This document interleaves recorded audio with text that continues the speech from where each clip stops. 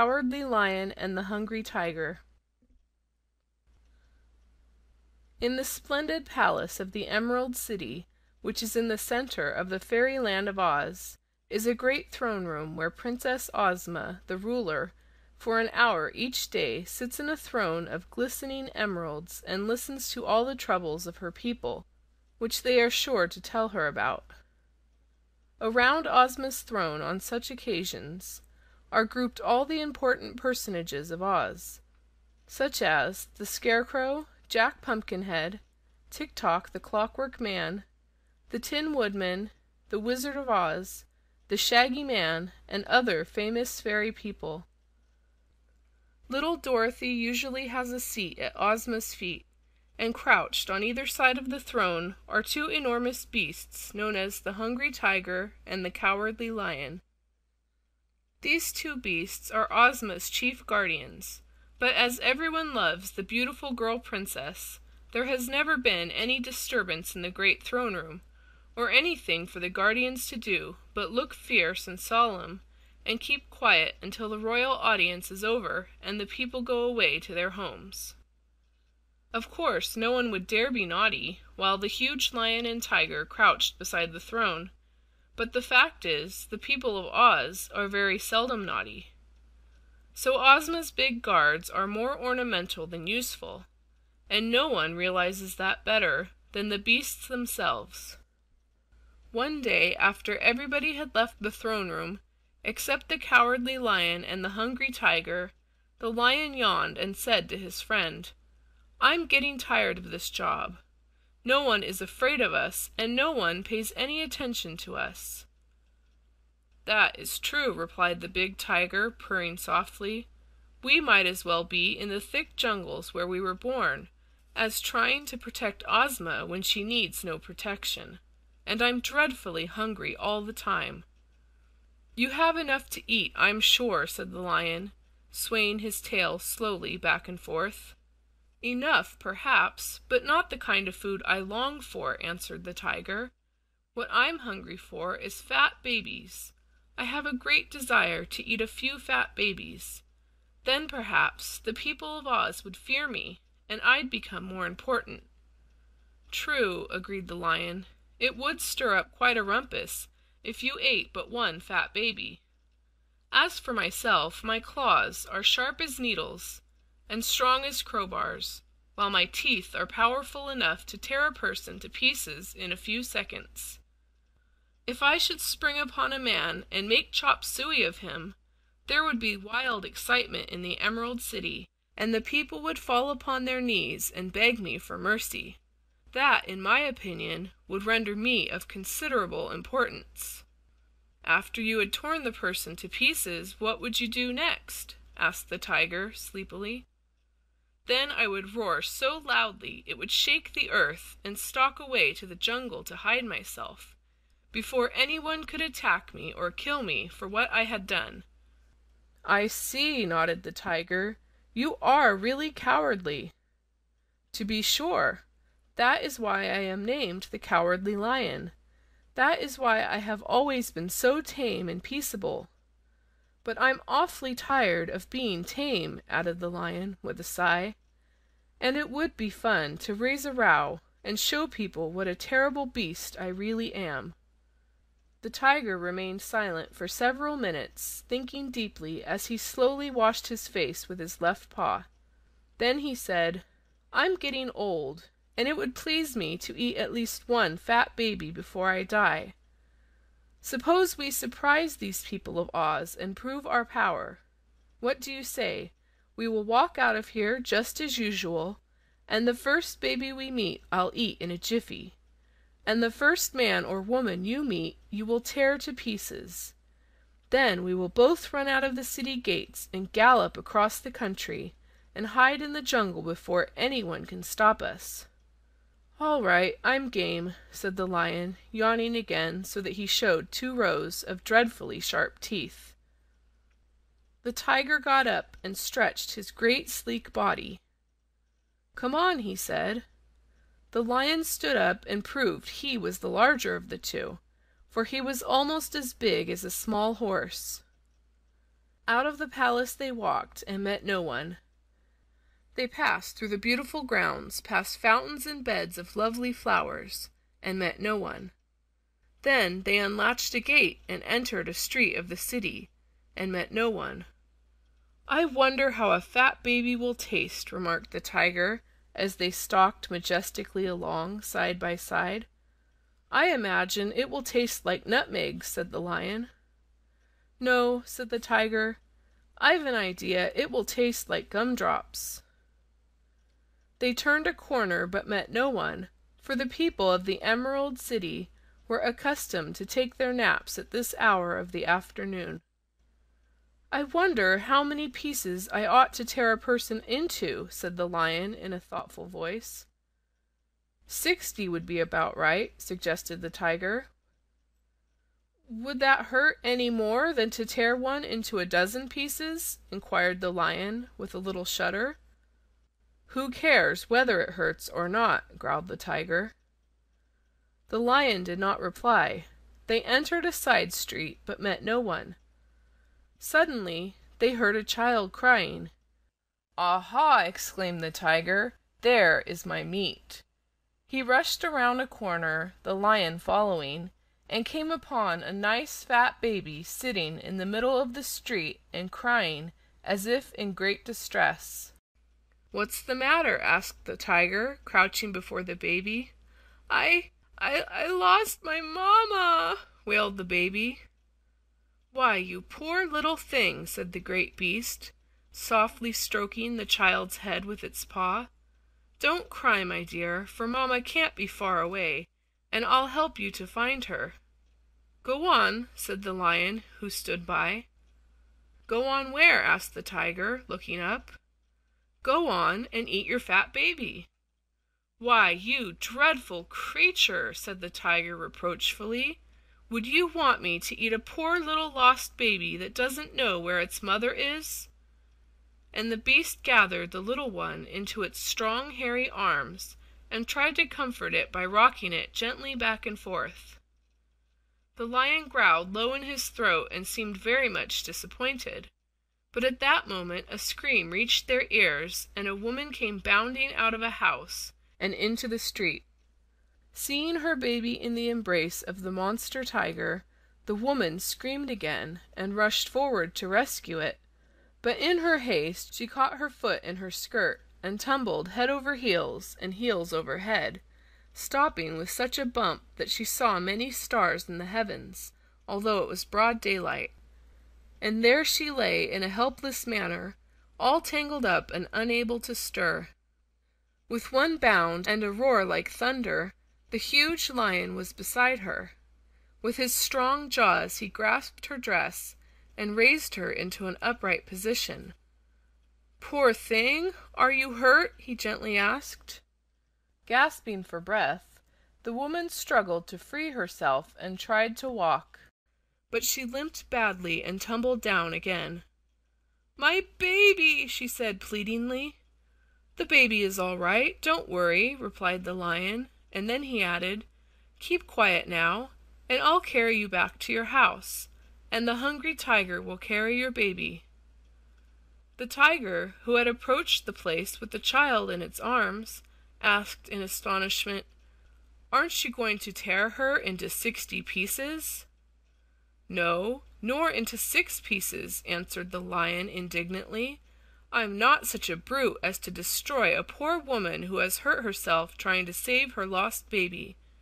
If you are so ferocious and cruel and bloodthirsty, you may leave me and go away, for I do not care to associate with you.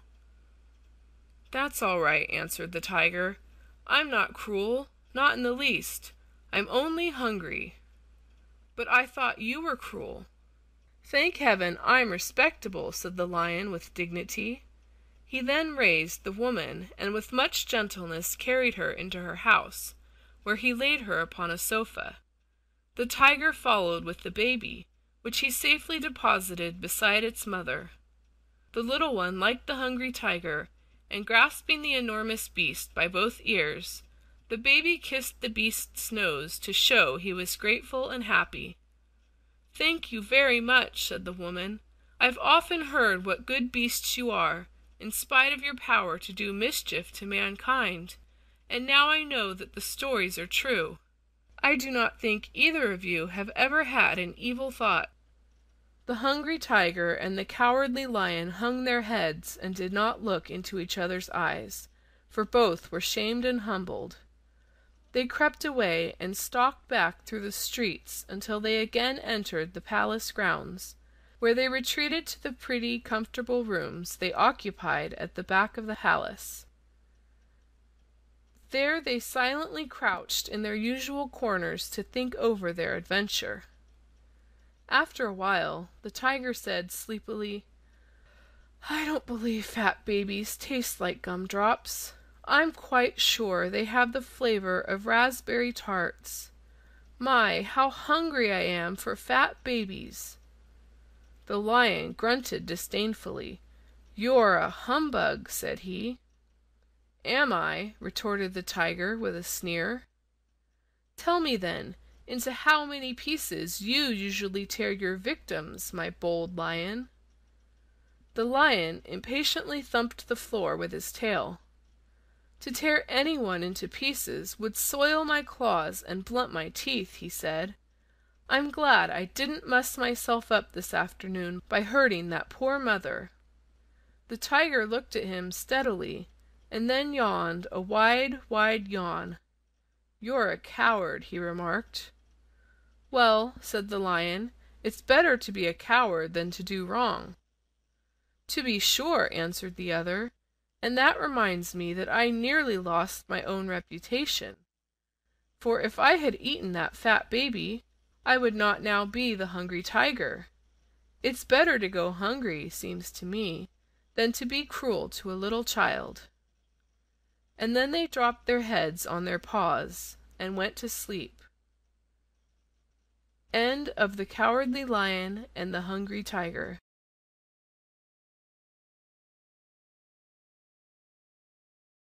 Little Dorothy and Toto Dorothy was a little Kansas girl who once accidentally found the beautiful land of Oz and was invited to live there always. Toto was Dorothy's small black dog with fuzzy curly hair and bright black eyes. Together, when they tired of the grandeur of the Emerald City of Oz, they would wander out into the country and all through the land peering into queer nooks and corners, and having a good time in their own simple way. There was a little wizard living in Oz who was a faithful friend of Dorothy, and did not approve of her traveling alone in this way. But the girl always laughed at the little man's fears for her, and said she was not afraid of anything that might happen. One day, while on such a journey, Dorothy and Toto found themselves among the wild wooded hills at the southeast of Oz, a place usually avoided by travelers because so many magical things abounded there. And, as they entered a forest path, the little girl noticed a sign tacked to a tree, which said, Look out for Crinklink. Toto could not talk, as many of the animals of Oz can, for he was just a common Kansas dog but he looked at the sign so seriously that Dorothy almost believed he could read it, and she knew quite well that Toto understood every word she said to him. "Never mind, Crinklink," said she. "I don't believe anything in Oz will try to hurt us, Toto, and if I get into trouble you must take care of me." "Bow wow," said Toto, and Dorothy knew that meant a promise. The path was narrow and wound here and there between the trees, but they could not lose their way because thick vines and creepers shut them in on both sides. They had walked a long time when suddenly turning a curve of the pathway, they came upon a lake of black water, so big and so deep that they were forced to stop. "Well, Toto," said Dorothy, looking at the lake, "we must turn back, I guess for there is neither a bridge nor a boat to take us across the black water." "Here's the ferryman, though!" cried a tiny voice beside them, and the girl gave a start and looked down at her feet, where a man, no taller than three inches, sat at the edge of the path with his legs dangling over the lake. "Oh!" said Dorothy, "I didn't see you before." Toto growled fiercely and made his ears stand up straight, but the little man did not seem in the least afraid of the dog.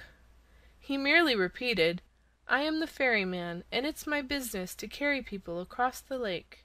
Dorothy couldn't help feeling surprised, for she could have picked the little man up with one hand, and the lake was big and broad. Looking at the ferryman more closely, she saw that he had small eyes, a big nose, and a sharp chin. His hair was blue and his clothes scarlet, and Dorothy noticed that every button on his jacket was the head of some animal. The top button was a bear's head, and the next button a wolf's head. The next was a cat's head, and the next a weasel's head, while the last button of all was the head of a field mouse. When Dorothy looked into the eyes of these animals' heads, they all nodded, and said in a chorus, "Don't believe all you hear, little girl!" "Silence!" said the small ferryman, slapping each button head in turn, but not hard enough to hurt them. Then he turned to Dorothy and asked, "Do you wish to cross over the lake?" "Why, I'd like to," she answered, hesitating, "but I can't see how you will manage to carry us without any boat." "If you can't see, you mustn't see," he answered with a laugh. "All you need to do is shut your eyes, say the word, and over you go." Dorothy wanted to get across in order that she might continue her journey. "All right," she said, closing her eyes. "I'm ready." Instantly she was seized by a pair of strong arms, arms so big and powerful that she was startled and cried out in fear. "Silence!" roared a great voice, and the girl opened her eyes to find that the tiny man had suddenly grown to a giant, and was holding both her and Toto in a tight embrace, while in one step he spanned the lake and reached the other shore. Dorothy became frightened then, especially as the giant did not stop, but continued tramping in great steps over the wooded hills, crushing bushes and trees beneath his broad feet. She struggled in vain to free herself, while Toto whined and trembled beside her, for the little dog was frightened too. "Stop!" screamed the girl. "Let me down!" But the giant paid no attention. "Who are you, and where are you taking me?" she continued, but the giant said not a word. Close to Dorothy's ear, however, a voice answered her, saying, "This is the terrible Crinklink, and he has you in his power." Dorothy managed to twist her head around, and found that it was the second button on the jacket, the wolf's head, which had spoken to her. "What will Crinklink do with me?" she asked anxiously. "No one knows. You must wait and see," replied the wolf. "Some of his captives he whips," squeaked the weasel's head. "Some he transforms into bugs and other things," growled the bear's head. "Some he enchants so that they become door knobs," sighed the cat's head. "Some he makes his slaves, even as we are, and that is the most dreadful fate of all," added the field mouse. As long as Crinklink exists we shall remain buttons, but as there are no more buttonholes on his jacket he will probably make you a slave." Dorothy began to wish she had not met Crinklink. Meanwhile the giant took such big steps that he soon reached the heart of the hills, where, perched upon the highest peak, stood a log castle. Before the castle he paused and set down Dorothy and Toto for Crinklink was at present far too large to enter his own doorway, so he made himself grow smaller, until he was about the size of an ordinary man. Then he said to Dorothy in stern commanding tones, "Enter, girl!" Dorothy obeyed and entered the castle with Toto at her heels. She found the place to be merely one big room. There was a table and chair of ordinary size near the center, and at one side a wee bed that seemed scarcely big enough for a doll. Elsewhere were dishes, dishes, dishes. They were all soiled, and were piled upon the floor, in all the corners, and upon every shelf. Evidently Crinklink had not washed a dish for years, but had cast them aside as he used them. Dorothy's captor sat down in the chair and frowned at her. "You are young and strong, and will make a good dish washer," said he. "Do you mean me to wash all those dishes?" she asked, feeling both indignant and fearful, for such a task would take weeks to accomplish. "That's just what I mean," he retorted. "I need clean dishes, for all I have are soiled, and you're going to make 'em clean or get trounced. So get to work, and be careful not to break anything. If you smash a dish, the penalty is one lash from my dreadful cat o' nine tails for every piece the dish breaks into." And here Crinklink displayed a terrible whip that made the little girl shudder. Dorothy knew how to wash dishes, but she remembered that often she carelessly broke one. In this case, however, a good deal depended on being careful, so she handled the dishes very cautiously. While she worked, Toto sat by the hearth and growled low at Crinklink, and Crinklink sat in his chair and growled at Dorothy because she moved so slowly. He expected her to break a dish any minute, but as the hours passed away and this did not happen, Crinklink began to grow sleepy. It was tiresome watching the girl wash dishes, and often he glanced longingly at the tiny bed. Now he began to yawn, and he yawned and yawned until finally he said, "I'm going to take a nap, but the buttons on my jacket will be wide awake, and whenever you break a dish the crash will waken me. As I'm rather sleepy, I hope you won't interrupt my nap by breaking anything for a long time." Then Crinklink made himself grow smaller and smaller, until he was three inches high, and of a size to fit the tiny bed. At once he lay down and fell fast asleep. Dorothy came close to the buttons and whispered, "Would you really warn Crinklink if I tried to escape?" "You can't escape," growled the bear. Crinklink would become a giant and soon overtake you." "But you might kill him while he sleeps," suggested the cat in a soft voice. "Oh!" cried Dorothy, drawing back. "I couldn't possibly kill anything, even to save my life." But Toto had heard this conversation, and was not so particular about killing monsters. Also the little dog knew he must try to save his mistress. In an instant he sprang upon the wee bed, and was about to seize the sleeping Crinklink in his jaws, when Dorothy heard a loud crash and a heap of dishes fell from the table to the floor. Then the girl saw Toto and the little man rolling on the floor together, like a fuzzy ball, and when the ball stopped rolling, behold! there was Toto, wagging his tail joyfully, and there sat the little Wizard of Oz, laughing merrily at the expression of surprise on Dorothy's face. "Yes, my dear, it's me," said he, "and I've been playing tricks on you, for your own good. I wanted to prove to you that it is really dangerous for a little girl to wander alone in a fairy country. So I took the form of Crinklink to teach you a lesson. There isn't any Crinklink, to be sure. But if there had been, you'd be severely whipped for breaking all those dishes." The Wizard now rose, took off the coat with the button heads, and spread it on the floor wrong side up.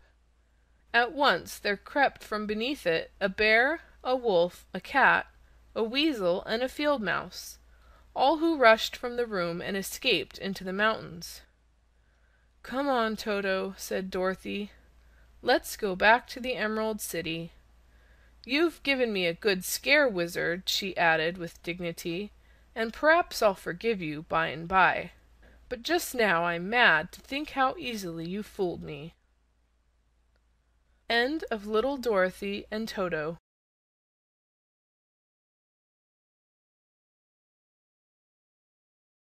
Tik Tok and the Gnome King The Gnome King was unpleasantly angry.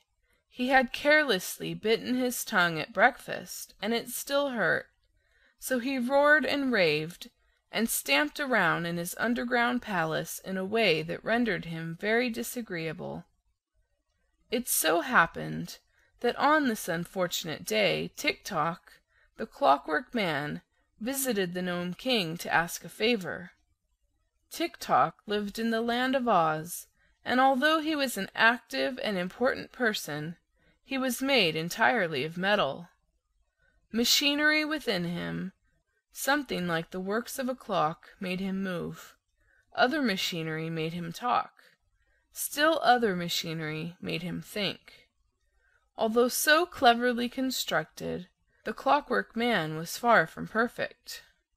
Three separate keys wound up his motion machinery, his speech works, and his thoughts. One or more of these contrivances was likely to run down at a critical moment, leaving poor Tik-Tok helpless. Also some of his parts were wearing out, through much use, and just now his thought machinery needed repair. The skillful little Wizard of Oz had tinkered with Tik-Tok's thoughts without being able to get them properly regulated, so he had advised the Clockwork Man to go to the Gnome King and secure a new set of springs, which would render his thoughts more elastic and responsive. "Be careful what you say to the Gnome King," warned the Wizard. "He has a bad temper, and the least little thing makes him angry." Tik-Tok promised, and the Wizard wound his machinery and set him walking in the direction of the Gnome King's dominions, just across the desert from the Land of Oz. He ran down just as he reached the entrance to the underground palace, and there Kaliko, the Gnome King's chief steward, found him and wound him up again. "I want to see the king," said Tik-Tok in his jerky voice. "Well," remarked Kaliko, "it may be safe for a cast iron person like you to face his majesty this morning, but you must announce yourself.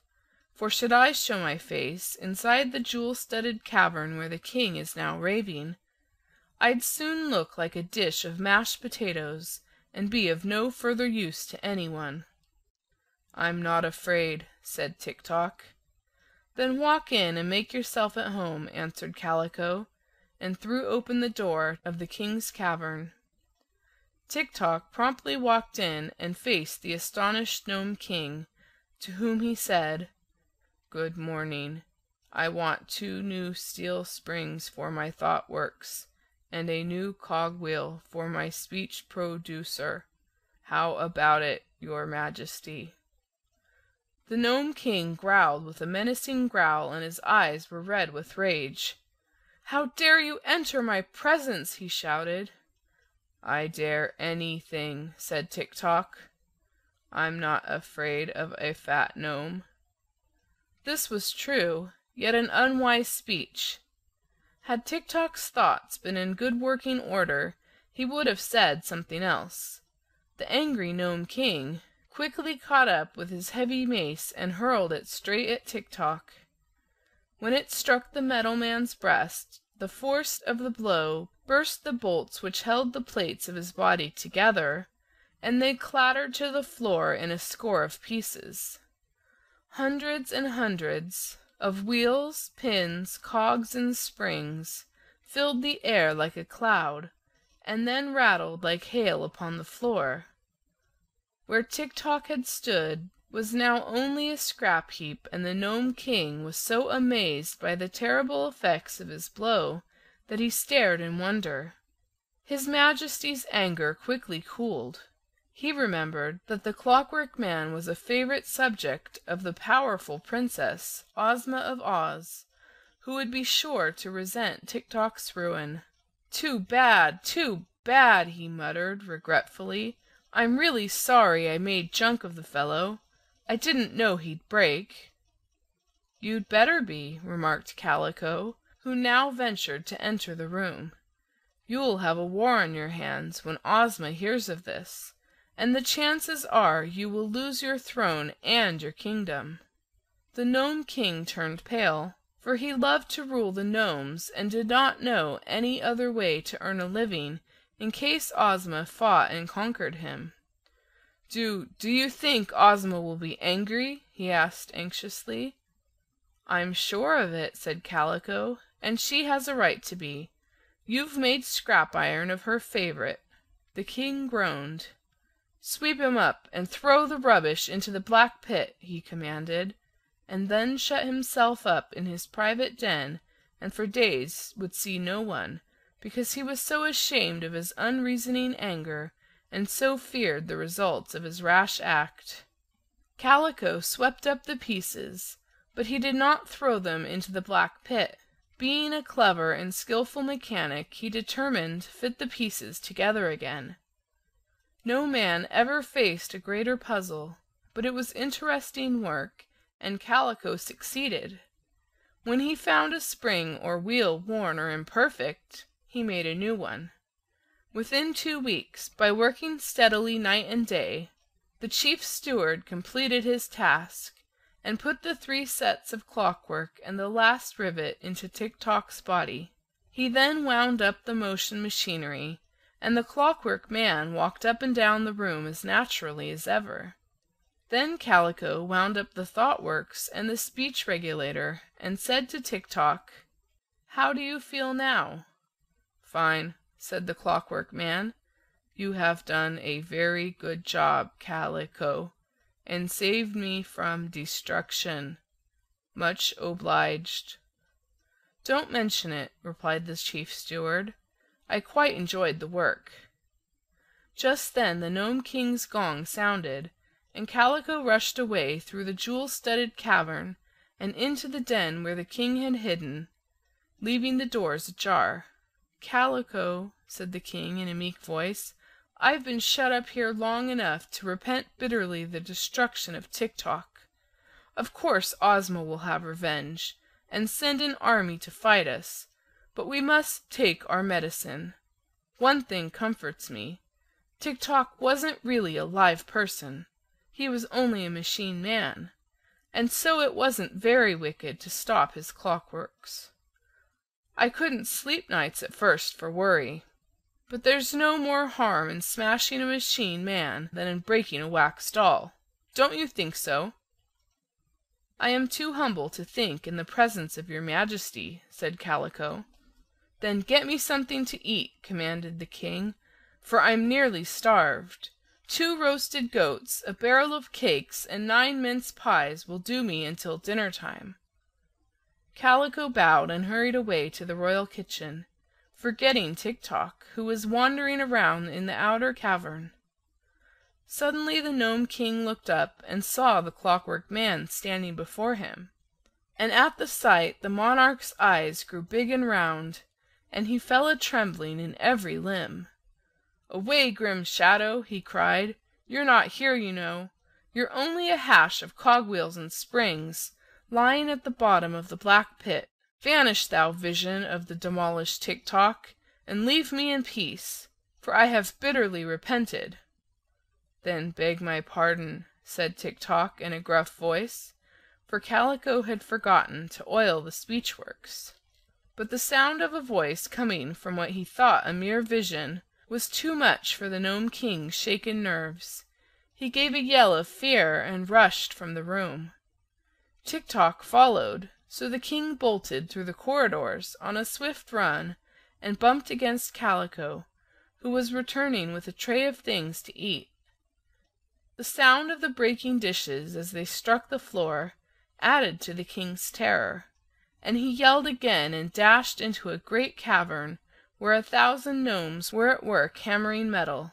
"Look out! Here comes the phantom clockwork man!" screamed the terrified monarch, and every gnome dropped his tools and made a rush from the cavern, knocking over their king in their mad flight and recklessly trampling upon his prostrate fat body. So, when Tik Tok came into the cavern, there was only the Gnome King left and he was rolling upon the rocky floor and howling for mercy, with his eyes fast shut so that he could not see what he was sure was a dreadful phantom that was coming straight toward him. "It occurs to me," said Tik Tok calmly, "that your Majesty is acting like a baby. I am not a phantom. A phantom is unreal, while I am the real thing. The king rolled over, sat up, and opened his eyes. "Didn't I smash you to bits?" he asked, in trembling tones. "Yes," said Tik Tok. "Then you are nothing but a junk heap, and this form in which you now appear cannot be real." "It is, though," declared Tik Tok. "Kaliko picked up my pieces and put me together again. I'm as good as new, and perhaps better." "That's true, your Majesty," added Kaliko, who now made his appearance, "and I hope you will forgive me for mending Tik Tok. He was quite broken up after you smashed him, and I found it almost as hard a job to match his pieces as to pick turnips from gooseberry bushes. But I did it," he added proudly. "You are forgiven announced the Nome King, rising to his feet and drawing a long breath. "I will raise your wages one specto a year, and Tik Tok shall return to the land of Oz, loaded with jewels for the Princess Ozma." "That is all right," said Tik Tok. "But what I want to know is, why did you hit me with your mace?" "Because I was angry," admitted the King. When I am angry I always do something that I am sorry for afterward, so I have firmly resolved never to get angry again, unless unless "Unless what, your Majesty?" inquired Kaliko. "Unless something annoys me," said the Nome King. And then he went to his treasure chamber to get the jewels for Princess Ozma of Oz. End of Tik Tok and the Nome King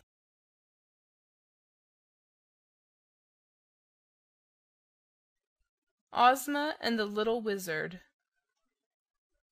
Once upon a time there lived in the beautiful Emerald City, which lies in the center of the fairyland of Oz, a lovely girl called Princess Ozma, who was ruler of all that country. And among those who served this girlish ruler and lived in a cozy suite of rooms in her splendid palace was a little withered old man known as the Wizard of Oz. This little wizard could do a good many queer things in magic, but he was a kind man, with merry twinkling eyes and a sweet smile, so instead of fearing him because of his magic, everybody loved him. Now Ozma was very anxious that all her people who inhabited the pleasant land of Oz should be happy and contented, and therefore she decided one morning to make a journey to all parts of the country, that she might discover if anything was amiss, or any one discontented, or if there was any wrong that ought to be righted. She asked the little Wizard to accompany her, and he was glad to go. "Shall I take my bags of magic tools with me?" he asked. "Of course," said Ozma. "We may need a lot of magic before we return, for we are going into strange corners of the land, where we may meet with unknown creatures and dangerous adventures." So the Wizard took his bag of magic tools, and the two left the Emerald City and wandered over the country for many days at last reaching a place far up in the mountains which neither of them had ever visited before. Stopping one morning at a cottage built beside the rocky path which led into a pretty valley beyond, Ozma asked a man, "Are you happy? Have you any complaint to make of your lot?" And the man replied, "We are very happy, except for three mischievous imps that live in yonder valley and often come here to annoy us. If your Highness would only drive away those imps, I and my family would be very happy and very grateful to you." "Who are these bad imps?" inquired the girl ruler. "One is named Olite, one Udent, and one Ertinent, and they have no respect for any one or anything. If strangers pass through the valley the imps jeer at them and make horrid faces and call names, and often they push travelers out of the path or throw stones at them. Whenever Imp Olite or Imp Udent or Imp Ertinent comes here to bother us, I and my family run into the house and lock all the doors and windows, and we dare not venture out again until the imps have gone away." Princess Ozma was grieved to hear this report, and the little Wizard shook his head gravely, and said the naughty imps deserved to be punished. They told the good man they would see what could be done to protect him, and at once entered the Valley to seek the dwelling place of the three mischievous creatures. Before long they came upon three caves, hollowed from the rocks, and in front of each cave squatted a queer little dwarf. Ozma and the Wizard paused to examine them, and found them well shaped, strong, and lively. They had big round ears, flat noses, and wide grinning mouths, and their jet black hair came to points on top of their heads, much resembling horns. Their clothing fitted snugly to their bodies and limbs, and the imps were so small in size that at first Ozma did not consider them at all dangerous.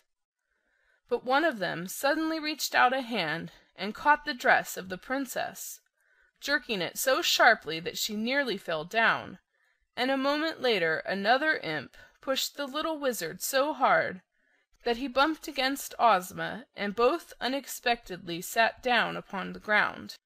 At this the imps laughed boisterously, and began running around in a circle, and kicking dust upon the royal princess, who cried in a sharp voice, "Wizard, do your duty!" The Wizard promptly obeyed. Without rising from the ground he opened his bag, got the tools he required, and muttered a magic spell. Instantly the three imps became three bushes, of a thorny, stubby kind, with their roots in the ground.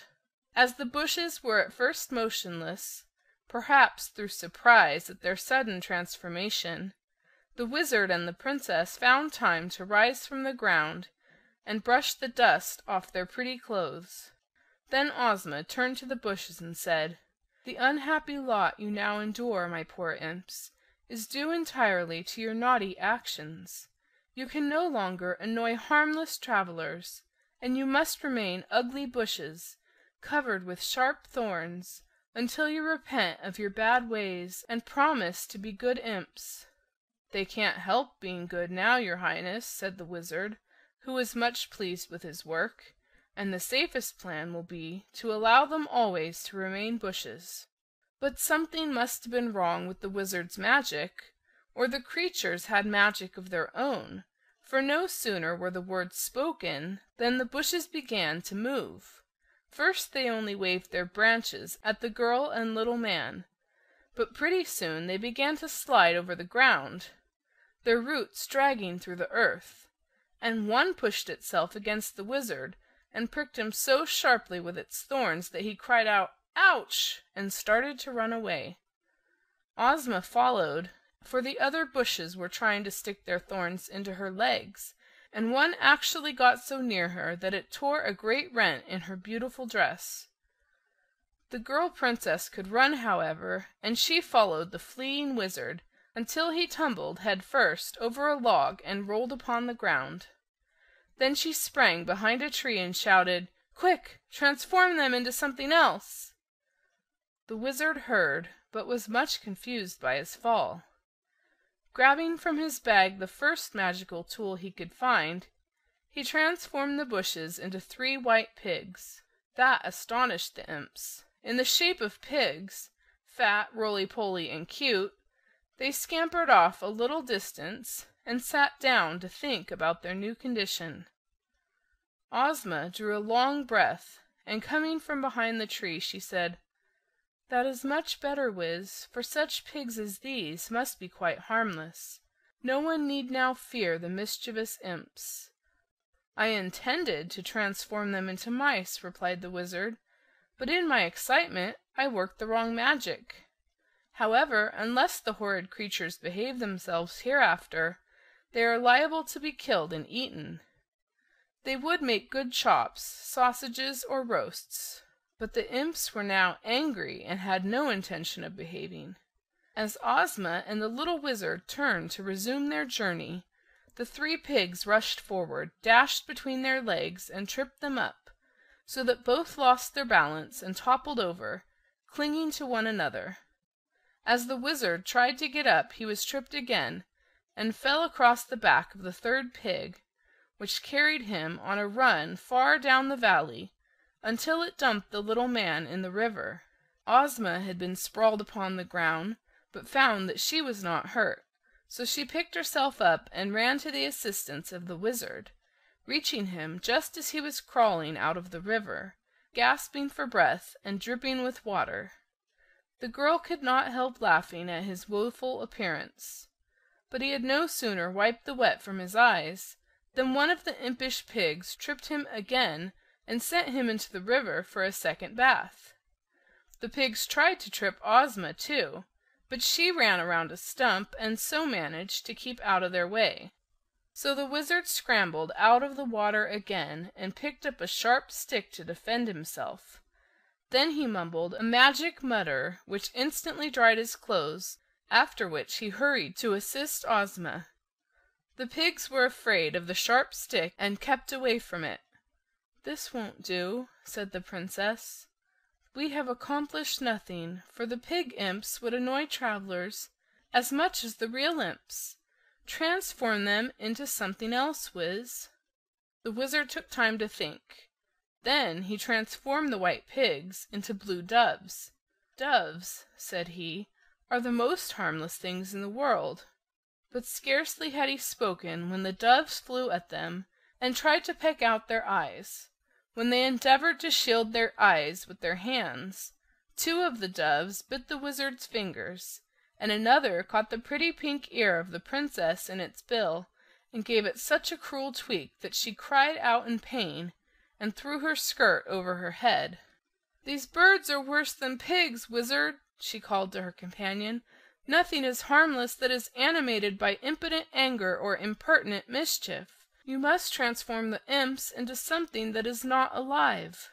The Wizard was pretty busy just then, driving off the birds, but he managed to open his bag of magic, and find a charm which instantly transformed the doves into three buttons. As they fell to the ground he picked them up and smiled with satisfaction. The tin button was Imp Olite, the brass button was Imp Udent, and the lead button was Imp Ertinent. These buttons the Wizard placed in a little box which he put in his jacket pocket. "Now," said he, "the imps cannot annoy travelers, for we shall carry them back with us to the Emerald City." "But we dare not use the buttons," said Ozma, smiling once more now that the danger was over. "Why not?" asked the Wizard. "I intend to sew them upon my coat, and watch them carefully. The spirits of the imps are still in the buttons, and after a time they will repent and be sorry for their naughtiness. Then they will decide to be very good in the future. When they feel that way the tin button will turn silver, and the brass to gold, while the lead button will become aluminum. I shall then restore them to their proper forms changing their names to pretty names instead of the ugly one they used to bear. Therefore the three imps will become good citizens of the Land of Oz, and I think you will find they will prove faithful subjects of our beloved Princess Ozma." "Ah, that is magic well worth while!" exclaimed Ozma, well pleased. "There is no doubt, my friend, but that you are a very clever wizard. End of Ozma and the Little Wizard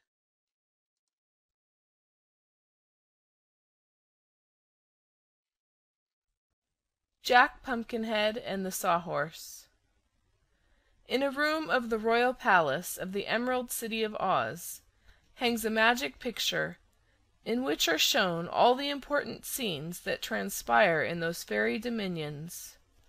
The scenes shift constantly, and by watching them Ozma, the girl Ruler, is able to discover events taking place in any part of her kingdom.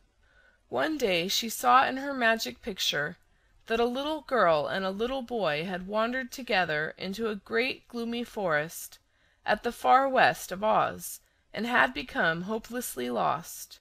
Their friends were seeking them in the wrong direction, and unless Ozma came to their rescue the little ones would never be found in time to save them from starving. So the Princess sent a message to Jack Pumpkinhead and asked him to come to the palace. This personage, one of the queerest of the queer inhabitants of Oz, was an old friend and companion of Ozma. His form was made of rough sticks fitted together, and dressed in ordinary clothes. His head was a pumpkin, with a face carved upon it, and was set on top of a sharp stake which formed his neck. Jack was active, good natured, and a general favorite, but his pumpkin head was likely to spoil with age, so in order to secure a good supply of heads, he grew a big field of pumpkins and lived in the middle of it, his house being a huge pumpkin hollowed out. Whenever he needed a new head, he picked up a pumpkin, carved a face on it, and stuck it upon the stake on his neck throwing away the old head as of no further use. The day Ozma sent for him, Jack was in prime condition, and was glad to be of service in rescuing the lost children. Ozma made him a map, showing just where the forest was, and how to get to it, and the paths he must take to reach the little ones. Then she said, "You'd better ride the Sawhorse, for he is swift and intelligent, and will help you accomplish your task." "All right," answered Jack, and went to the royal stable to tell the Sawhorse to be ready for the trip. This remarkable animal was not unlike Jack Pumpkinhead in form, although so different in shape. Its body was a log with four sticks stuck into it for legs. A branch at one end of the log served as a tail, while in the other end was chopped a gash that formed a mouth. Above this were two small knots that did nicely for eyes. The Sawhorse was the favorite steed of Ozma, and to prevent its wooden legs from wearing out, she had them shod with plates of gold. Jack said "Good morning" to the Sawhorse, and placed upon the creature's back a saddle made of purple leather studded with jewels. "Where now?" asked the horse, blinking its knot eyes at Jack. "We are going to rescue two babes in the wood," was the reply. Then he climbed into the saddle, and the wooden animal pranced out of the stable, through the streets of the Emerald City, and out upon the highway leading to the western forest where the children were lost. Small though he was, the Sawhorse was swift and untiring. By nightfall they were in the far west and quite close to the forest they sought. They passed the night standing quietly by the roadside. They needed no food, for their wooden bodies never became hungry, nor did they sleep because they never tired. At daybreak they continued their journey, and soon reached the forest. Jack now examined the map Ozma had given him, and found the right path to take, which the Sawhorse obediently followed. Underneath the trees was all silent and gloomy and Jack beguiled the way by whistling gaily as the Sawhorse trotted along. The paths branched so many times and in so many different ways that the Pumpkinhead was often obliged to consult Ozma's map, and finally the Sawhorse became suspicious. "Are you sure you are right?" it asked. "Of course," answered Jack. "Even a Pumpkinhead whose brains are seeds can follow so clear a map as this. Every path is plainly marked, and here is a cross where the children are." Finally they reached a place in the very heart of the forest where they came upon the lost boy and girl. But they found the two children bound fast to the trunk of a big tree, at the foot of which they were sitting. When the rescuers arrived the little girl was sobbing bitterly, and the boy was trying to comfort her, though he was probably frightened as much as she. "Cheer up, my dears," said Jack, getting out of the saddle. "I have come to take you back to your parents. But why are you bound to that tree?" "Because," cried a small, sharp voice, "they are thieves and robbers. That's why." "Dear me!" said Jack, looking around to see who had spoken. The voice seemed to come from above. A big gray squirrel was sitting upon a low branch of the tree. Upon the squirrel's head was a circle of gold, with a diamond set in the center of it. He was running up and down the limbs and chattering excitedly. "These children," continued the squirrel, angrily, "robbed our storehouse of all the nuts we had saved up for winter. Therefore, being king of all the squirrels in this forest, I ordered them arrested and put in prison, as you now see them. They had no right to steal our provisions, and we are going to punish them." "We were hungry," said the boy, pleadingly, "and we found a hollow tree full of nuts, and ate them to keep alive. We didn't want to starve when there was food right in front of us." "Quite right," remarked Jack, nodding his pumpkin head. "I don't blame you one bit under the circumstances not a bit. Then he began to untie the ropes that bound the children to the tree.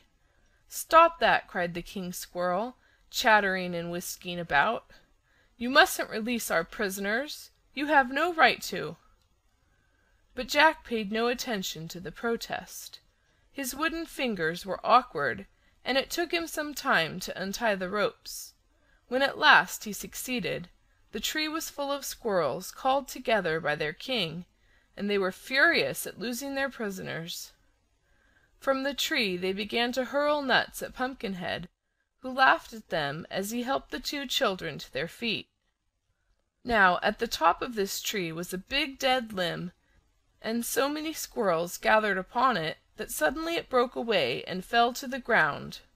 Poor Jack was standing directly under it, and when the limb struck him, it smashed his pumpkin head into a pulpy mass and sent Jack's wooden form tumbling, to stop with a bump against a tree a dozen feet away.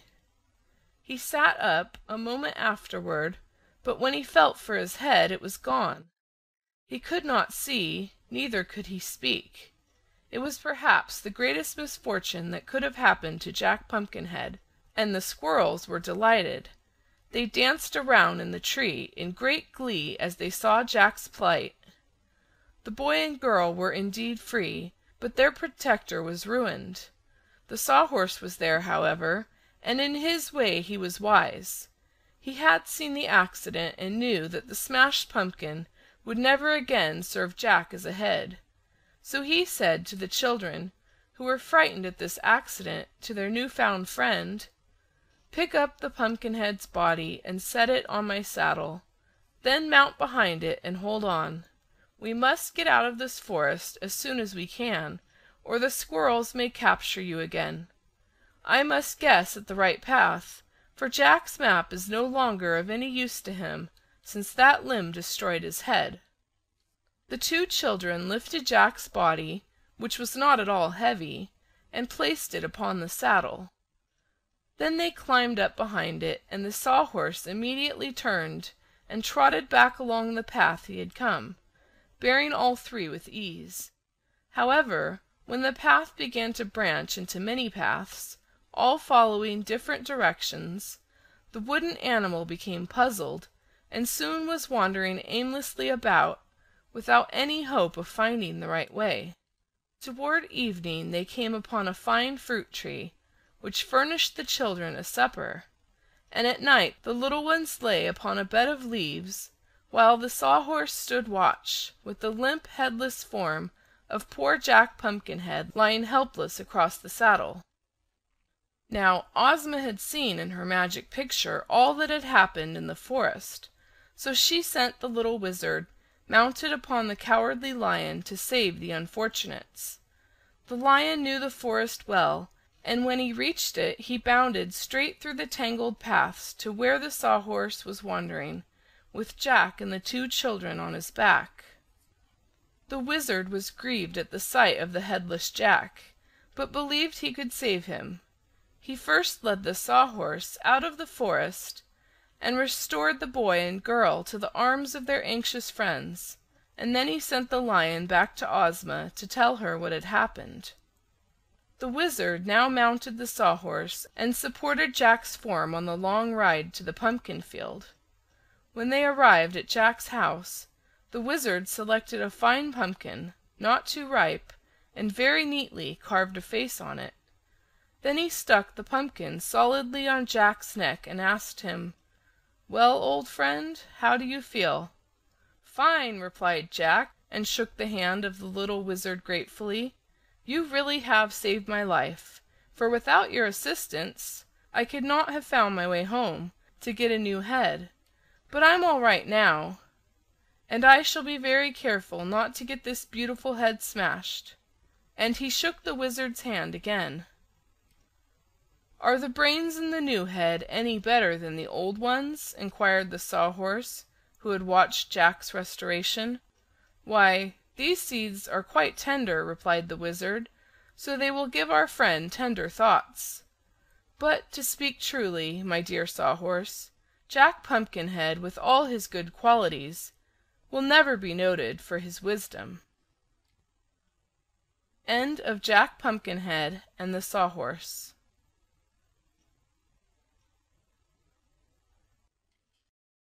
THE SCARECROW and the Tin Woodman There lived in the Land of Oz two queerly made men who were the best of friends. They were so much happier when together that they were seldom apart. Yet they liked to separate once in a while, that they might enjoy the pleasure of meeting again. One was Scarecrow. That means he was a suit of blue Munchkin clothes, stuffed with straw, on top of which was fastened a round cloth head, filled with bran to hold it in shape. On the head were painted two eyes, two ears, a nose and a mouth. The Scarecrow had never been much of a success in scaring crows, but he prided himself on being a superior man, because he could feel no pain, was never tired, and did not have to eat or drink. His brains were sharp, for the Wizard of Oz had put pins and needles in the Scarecrow's brains. The other man was made all of tin, his arms and legs and head being cleverly jointed so that he could move them freely. He was known as the Tin Woodman, having at one time been a woodchopper, and everyone loved him because the Wizard had given him an excellent heart of red plush. The Tin Woodman lived in a magnificent tin castle, built on his country estate in the Winkie Land not far from the Emerald City of Oz. It had pretty tin furniture, and was surrounded by lovely gardens in which there were many tin trees and beds of tin flowers. The palace of the Scarecrow was not far distant, on the banks of the river, and this palace was in the shape of an immense ear of corn. One morning the Tin Woodman went to visit his friend the Scarecrow and as they had nothing better to do they decided to take a boat ride on the river. So they got into the Scarecrow's boat, which was formed from a big corncob, hollowed out and pointed at both ends and decorated around the edges with brilliant jewels. The sail was of purple silk and glittered gaily in the sunshine. There was a good breeze that day, so the boat glided swiftly over the water.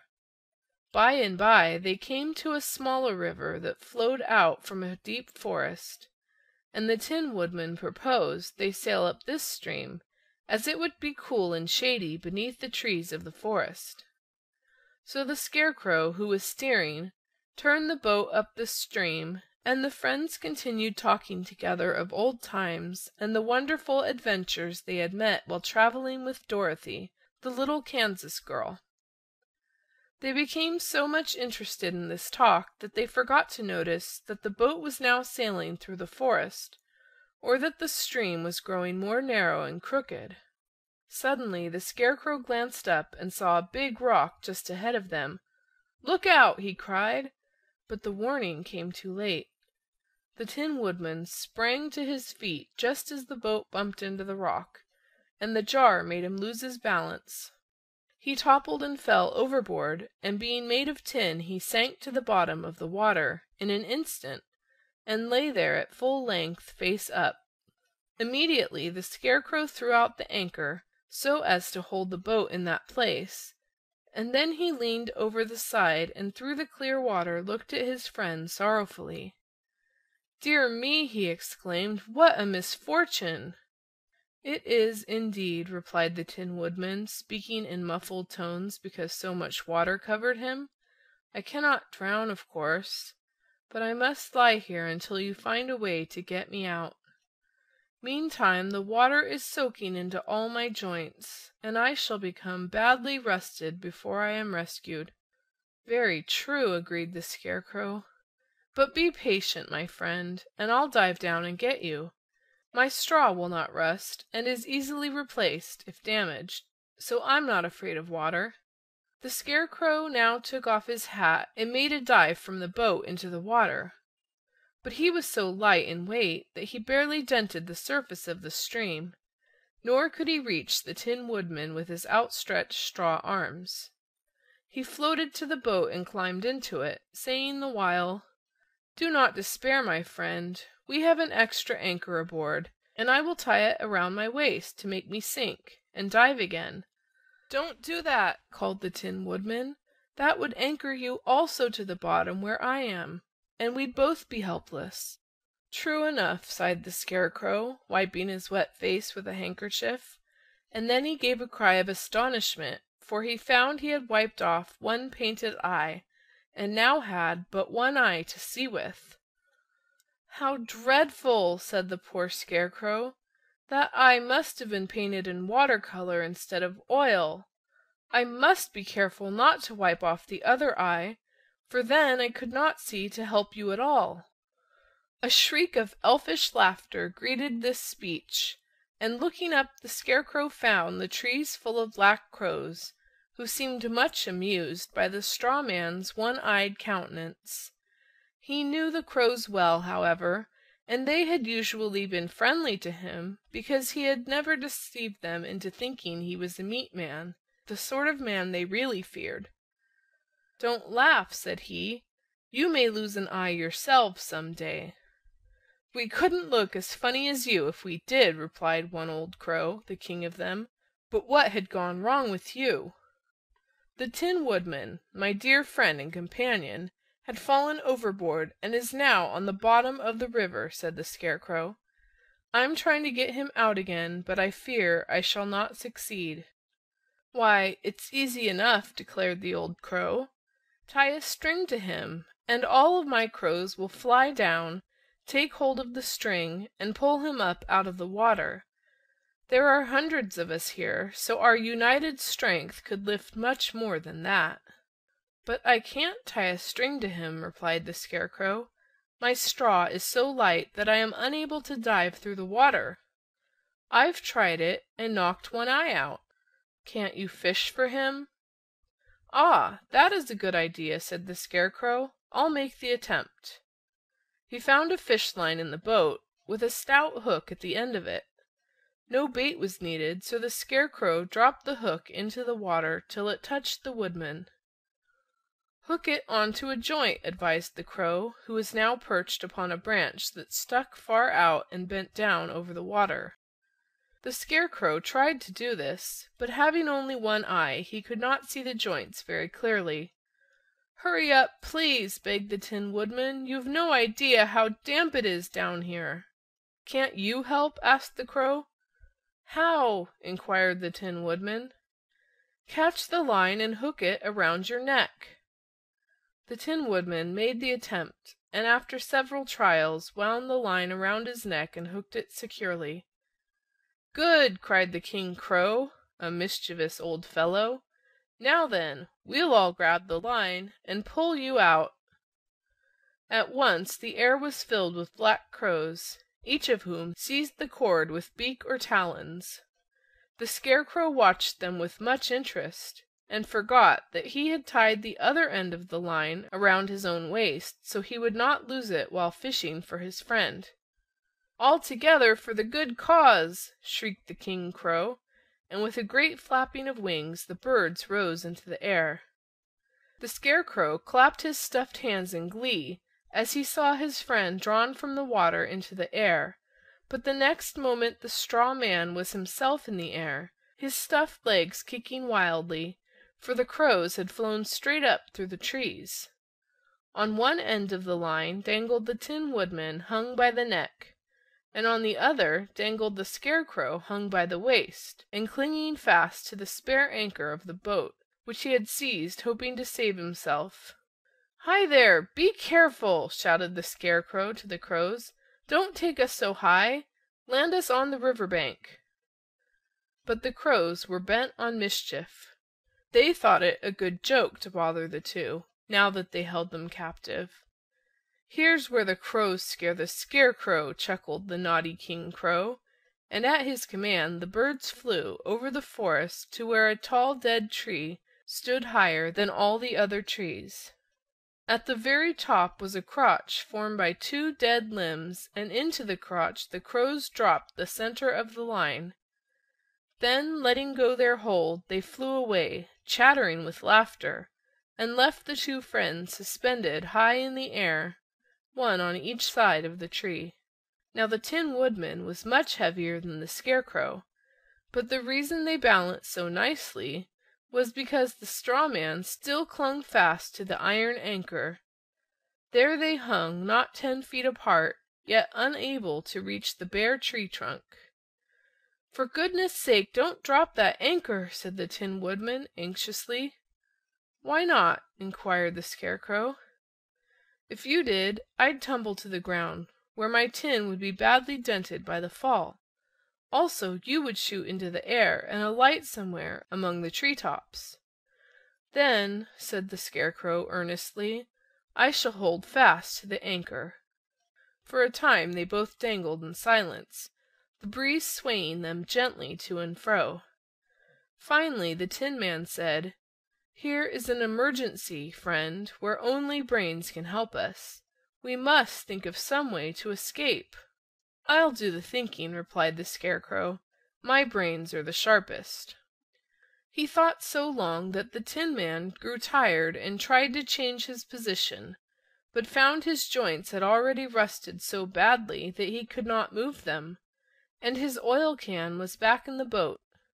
"Do you suppose your brains are rusted, friend Scarecrow?" he asked in a weak voice, for his jaws could scarcely move. "No, indeed. Ah, here's an idea at last!" And with this the Scarecrow clapped his hands to his head, forgetting the anchor, which tumbled to the ground. The result was astonishing, for just as the Tin Man had said, the light Scarecrow flew into the air, sailing over the top of the tree, and landed in a bramble bush, while the Tin Man fell plump to the ground, and landing on a bed of dry leaves was not dented at all.